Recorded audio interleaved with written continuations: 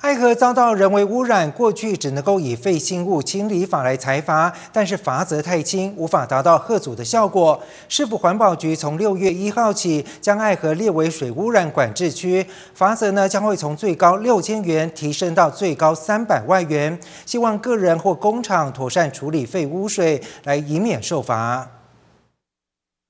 爱河流经人口稠密区，周边产业发达。除了家庭污水之外，一些小型事业，如营建工程的径流废水或餐厅摊贩的油脂废水，过去都直接排入爱河，造成爱河河水出现变化。因为爱河呃一常发生一些水色、水体污染，还有一些水色变化的的情势。那一般我们这些污染呢，都是一些小型的呃事业。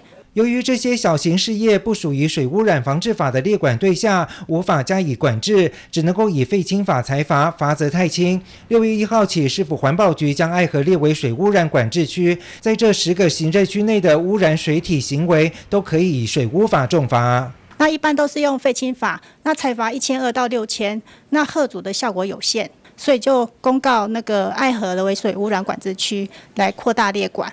那那个罚款呢？从就呃最低从三万到最高到三百万。市府环保局表示，日前已经将爱河扩大管制的宣导折页告知相关对象，提醒他们六月一号起将加重处罚。而凤山西大东桥上游也在四月一号列入水污染管制区，希望管制对象赶紧加强废污水处理设备，以免受罚。所以我们呼吁这些产业，就像餐厅呢，它就要设置那个废水节流的。呃，废水处理设备，然后那个呃，营浆营造业呢，它的径流废水要经过沉沙池处理之后，再排放出来，才不会污染我们爱河爱河的水体。河川水域因为人们随意排放废污水，造成恶臭污染。现在环保意识抬头，为了生态永续，相关事业在经营发展的同时，也得为环保多尽一份心力。记者张世明、赖昌邦高雄报道。